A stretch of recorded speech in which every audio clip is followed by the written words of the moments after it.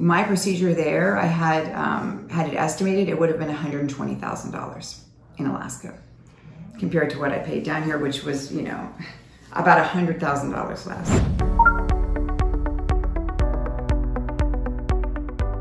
From the first interaction with my patient coordinator, Francisco, to Christian, my driver, to Monica at the front desk, to Scarlet, who helped do the um, travel arrangements, um, all the way to the doctors, Everybody has been super professional um, and helpful and flexible, wonderful. Um, I can't, I don't even get this kind of care in the States. So I think it's been more than what we expected.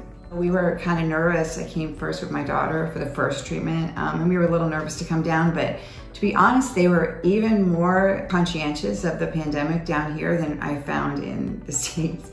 Um, so I think it was very, uh, they were, you know, very conscientious, which made us very uh, willing to come back uh, six months later and have the rest of my work done. So we found it to be, you know, extraordinarily safe and easy to come and have things done. So I didn't even hesitate for a second to come back in six months. I was so happy. It was difficult a little because the process took a while, but you know, I was appreciative of my doctor, especially because he really took the time to make sure every single thing lined up. And I'd have to come back in and back in and back in. But in the end, it was worth it. And you know, I'm here laying around at the beach. What do I care? So he did the right thing and he made it so that it looks exactly the way it's supposed to. And that's what I care about in the end. The people here have been extraordinary, the service that I've received, and I'm extremely happy you know, I'll show my face.